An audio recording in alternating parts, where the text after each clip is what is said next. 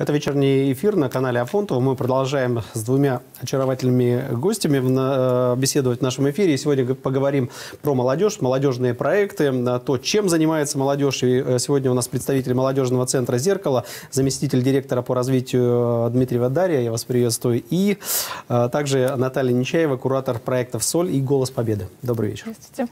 Ну что, я в самом начале хотел бы вообще спросить, вот из всего огромного количества каких-то каких-то э, локаций для молодежи в городе. Ну, сейчас чего только нет, да, вот э, молодежные центры, они вот какую роль вообще выполняют в жизни молодых людей, молодежи в частности?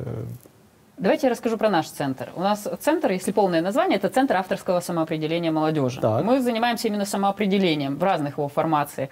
У нас есть три таких блока э, важных. Это, первый блок – это идентификация проекта. Это направлено прямо на э, профориентацию, выбор себя как предпринимателя, выбор своей будущей профессии. Вот один блок. Второй блок – это у нас эм, проекты проба пера первое. Вот туда входят э, амфибрахии на траве, ты вся пробуешь как поэт, э, соль, ты пробуешь себя как творец, создаешь какие-то новые образы mm-hmm. в театре, музыке, открытые стены, ты пробуешь себя как художник в городском пространстве. И есть еще третий блок, это где ты твоя инициатива в городе, она реализуется. Это территория Красноярский край, где ты можешь а, небольшой свой маленький проект разной направленности подать и получить на это денежные средства. Есть такие большие, как «Искра».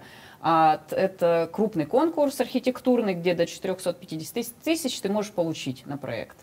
То есть правильно понимаю, что вот э, ваши, э, скажем так, участники да, молодежного центра, они, по большому счету, вы им помогаете вот раскрыться в каком-то направлении, и они целенаправленно идут туда за этим. Да, все верно. А, и кто же приходит? Это какой возраст, как правило? То есть в каком возрасте э, молодежь начинает задумываться, что нужно ко мне вот творчески как-то пораскрываться? Или это как, как это происходит вообще? Непонятно мне. На самом деле разный возраст. У нас регламентировано от 14 лет до 35. Угу. Вот если говорить про профориентацию, то это больше для школьников. Э, это как раз именно 9, 10, 11 класс, когда они не знают, чего хотят, ищут в поисках себя. А если говорить про проекты вот как «Искра и Амфибрахи», угу. это больше для молодых людей 18 плюс, которые уже э, учатся, осознанно уже да, подходят. осознанно выбирают, вот понимают, я хочу быть поэтом, я хочу читать стихи, нести их в массы. А вот э, Наталья, как куратор проектов, э, вы все-таки через свои проекты, я думаю, тоже, наверное, раскрываете э, потенциал какой-то, да? Да, конечно. У нас вообще основная цель — это как раз-таки помочь нашим э, творческим ребятам проявить себя, дать им такую платформу для того, чтобы они могли э, показать свои таланты и, возможно, даже проявить себя в качестве организации. Слушайте, ну а для этого нужно создавать проекты или все-таки работа молодежного центра, она без проектов? Вот ты приходишь-то туда, и говорят, вот давай заниматься этим, этим, этим, там, и вот будешь ходить на какие-то определенные там занятия, что это курсы могут быть или какие-то, даже не знаю, у нас есть и клубная деятельность, которая подразумевает, да, но здесь все зависит от молодого человека. Он может прийти и сказать, я хочу сам делать фестиваль крутой, большой.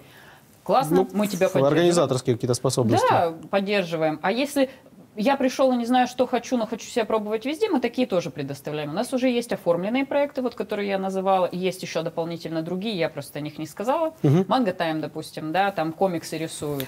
А давайте мы сейчас, э, наверное, у нас есть возможность посмотреть э, какие-то материалы, где э, ваши дети занимаются, и мы, в принципе, поговорим, да, вот вы расскажете как раз, исходя из фотографий. Можно нам полистать, а вы да, вот это как раз э, Mango Time, где ребята рисуют комиксы, но в этом году у нас это уже стал более крупный проект. Это не только рисование комиксов, угу. это уже и косплей, и кей-поп направление, там уже... А Time это название такое? Time это название, это С чем да. связано это такое странное название? Манго это японский комикс. Сейчас у нас проект уже переназвался, называется Geek Time. Это гик, это увлеченный человек. Угу. Теперь у нас это, говорю, более такое расширенное это вот как раз эти комиксы, стена с комиксами и была да, как да, раз да. оформление. Да, все верно. Так, а, ну здесь немножечко непонятно, что за занятия, да? Они здесь и как раз комиксы рисовали, Такой... да, на занятии. А это вообще много таких, э, такой молодежи, увлеченной рисованием именно комиксов? Как ни странно, достаточно много. Это в молодежной культуре это такая достаточно распространенная это история. Это модно сейчас, да.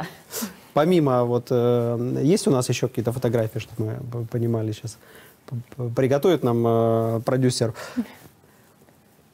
Так. А это вот как раз фотографии с амфибрахия на траве. Амфибрахи – это музыкально-поэтический перформанс, где поэты читают стихи собственного сочинения под живую музыку, под живое угу. исполнение. Вы собираете вот всех этих талантливых э, людей, людей вместе, да. которые читают свои э, под музыкальное, да, какое-то сопровождение? Да, там а, мы еще на разных площадках выступаем. А, есть где на траве. Вот, допустим, в прошлом году мы выходили на проспект Мира, читали с балконов стихи uh-huh. собственного сочинения. Мы а, теперь его интегрировали прямо в город, в городское пространство. Люди как реагируют на это? Люди очень позитивно реагируют. Вы прям микрофон, ну то есть это громко, со звуком, да? это с микрофоном, с балконов, э, прям с колонками, с мощными такими. Это прям на всю улицу слышно, на все мира. Сколько вообще, как много вот участвует именно вот в написании написании, прочтении стихов, эта история популярна или такая вот она узкая какая-то вот? Поэтов не то чтобы прям сотни, но тем не менее на один амфибрахе около 25 поэтов э, молодых приходит. А, Наталья, вы тоже занимаетесь вот этим проектом? Или у вас определенная задача ну, смотрите, мы вообще э, помогаем друг другу. У нас есть отдельно каждого, для каждого проекта каждый куратор, который непосредственно занимается своим планом, что ему нужно делать. Но э, мы такой дружный коллектив и всегда помогаем Между друг собой другу. коллаборации да, какие-то происходят. А вообще кто занимается? Это вот помимо кураторов, э, ну, все-таки писать стихи это такое э, направление, где нужен специалист наверняка какой-то вот, э, как, как минимум специалиста русского языка, литературы, или, или как вот дети приходят и говорят, я хочу писать стихи, научите меня. Этому уже невозможно научиться? Нет, мы не учим писать стихи, это приходят уже осознанные поэты, это все-таки проект, задатками. проект 18+, да, там уже приходят, которые пишут стихи, они сначала пишут обычно в стол, а потом они видят, что... Стол у нас... это для себя, так стол скажем. это, да, для себя. Потом они видят, что у нас очень такая открытая атмосфера, Начинают что мы готовы проявлять. принять, да. И они смотрят, что вроде как все читают, не боятся оценки, приходят, начинают читать свои стихи уже. Я просто вспоминаю свои школьные годы, я очень боялся всегда читать э, стихи. Это было такое э, так, такое занятие достаточно, ну, тем более, когда все смотрят, начинает кто-то, если ты что-то неправильно прочитал, еще и смеяться начинают. А представляете, свои стихи читать? А свои стихи... А вообще есть э, вот талантливые дети у нас? Не все талантливые. Ну, то есть не, нет такого, что там написал стихотворение какое-то, и оно так вот не понравилось? Ну, смотрите... То есть а... это, это, это же вот что вообще? Это субъективная вещь, оценка, конечно. Я считаю, все талантливые, просто не нашелся, возможно, тот зритель, э, который их оценит. К которому да. подошли. Ну да ладно, мы давайте а, перейдем от работы вашего центра а, все-таки к проектам, потому что а, скоро вот мы сейчас начнем с проекта, который называется «Голос Победы». Вы как раз, Наталья, его курируете. Мы начнем с него и расскажем, что это за проект, для чего он, для кого, кто может принять участие, ну, то есть подробная информация, которую можем поделиться с нашими зрителями. «Голос Победы» — это молодежный патриотический фестиваль, который у нас проходит несколько этапов, этапы прослушивания, и также в конце финальное выступление на Театральной площади, а, собственно, для чего мы и собираемся. Угу. Приходят у нас молодые исполнители э, номинации «Вокаль», «Вокал». Сколько, сколько номинаций? Номинаций всего три, три, но некоторые делятся под категории, допустим, вокал-соло и коллективы, потому угу. что это все равно немножечко разное, и мы так делегируем. Коллективы вы имеете в виду, там может быть хор, какая-то группа муз- да, музыкальная, да? Да, все верно. А, в общем, у нас есть вокал, есть искусство звучащего слова, где также идет разделение на а, стихотворное угу. произведение и прозу. А, можно прийти также с коллективом, собирать какой-то мини-театр, поставить, поставить сценку и выступить вместе с ней. И это очень замечательно будет смотреться, угу. если еще подключить какие-то костюмированные, а, какие-то декорации, может быть, на сцене. Это будет ну, то есть такая не, некая театральная постановка. Угу. Так, еще, еще какая и номинация? Третья номинация, она у нас пробовалась в прошлом году, но в этом году она выходит в такое а, официальное а, направление. Это дневник памяти. Любой желающий от 14 до 35 лет угу. может рассказать истории, может быть, своих предков или своих знакомых, которая запала в душу и Ну, то есть это должны быть реальные истории, конечно, не выдуманные. Конечно, разумеется. Реальные истории, может быть, о любви, о дружбе, о каком-то подвиге. В общем, то, что зацепило. С, с какого и до какого возраста можно э, людям принять участие в этом проекте? От 14 до 35 лет, Тут... но если есть огромное желание, могут э, принять участие э, люди более старшего возраста или более младшего, но, к сожалению, именно в конкурсной программе. А, ну то есть вне конкурса, ради вне бога, да, можно, а в конкурсная программа именно вот в этом возрасте. Угу. А, ну и помимо, э, значит, участников, э, которых вы собираете, вот сейчас, э, я думаю, что сейчас начинаются заявки. Да, прием заявок уже начался. И все это закончится выступлением 9 мая, угу. в День Победы, и, соответственно, вся тематика, все, вот нам показывают фотографии, кстати, это тоже уже был фестиваль, да? Да.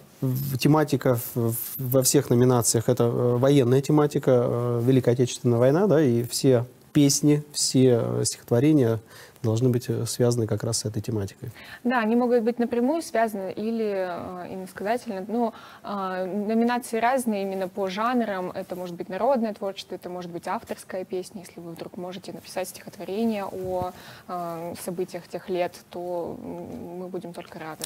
А как э, проходят отборочные вот эти туры, да, так называемые? Это собирается определенная комиссия, жюри, э, кто, кто входит в состав жюри, кто определяет, кому выйти в финал, в следующий этап? Собирается у нас экспертная комиссия в разных номинациях. Отдельная номинация, отдельно у нас будет э, состав жюри, э, непосредственно связанные с этим направлением. Если это вокал, то, конечно же, мы берем людей, связанных э, с эстрадным вокалом, или mm-hmm. режиссеры, может быть, каких-то музыкальных театров и так далее. А если искусство звучащего слова, ну и, соответственно, актеры, режиссеры и вот... Может... То есть это все люди-профессионалы, которые конечно. знают свое дело. Сколько планируете вы вот собрать, э, не знаю, в этом году, может быть, по опыту человека? По опыту дол... предыдущих лет участвует да. примерно около 300 человек в этом конкурсе, да. И около 100 человек выходят в финал на Театральную площадь. То есть это прям большое такое вот э, представление с огромным количеством участников. И да. Я даже не, не могу представить, сколько это по времени э, идет действо.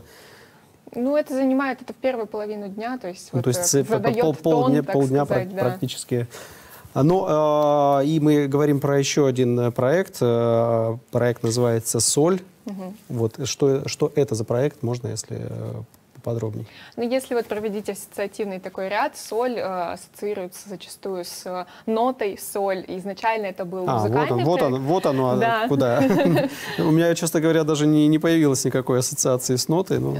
Ну вот, мы изначально позиционировались как музыкальный проект, угу. но решили, что э, так или иначе мы все равно затрагиваем и танцоров, и художников, и декораторов, и подумали, что почему бы не расшириться и не взять просто творческих людей, может быть, не обязательно э, уметь играть на гитаре или рисовать э, картины, чтобы быть творцом.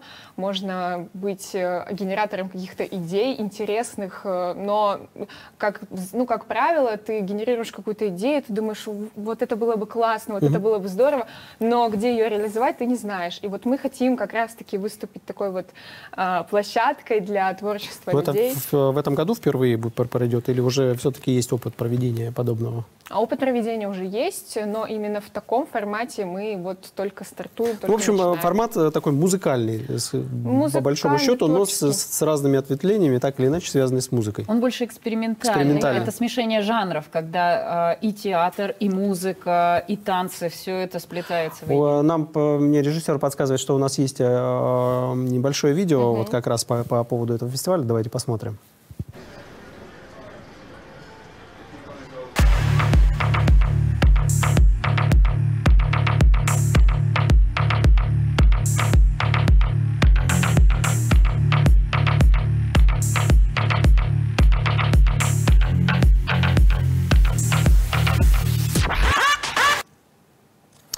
Так, ну и вот э, этот фестиваль, э, этот э, проект «Соль», он пройдет когда? Он проходит у нас практически каждый месяц.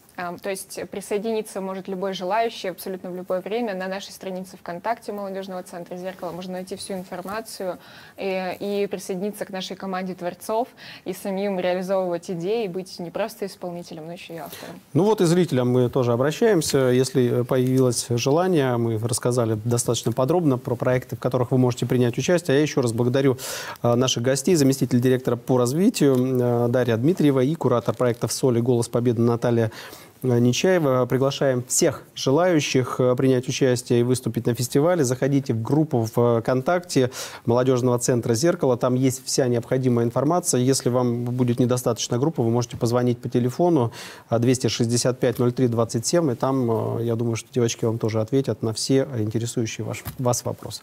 Я вам желаю удачи. Спасибо огромное, что были сегодня с нами.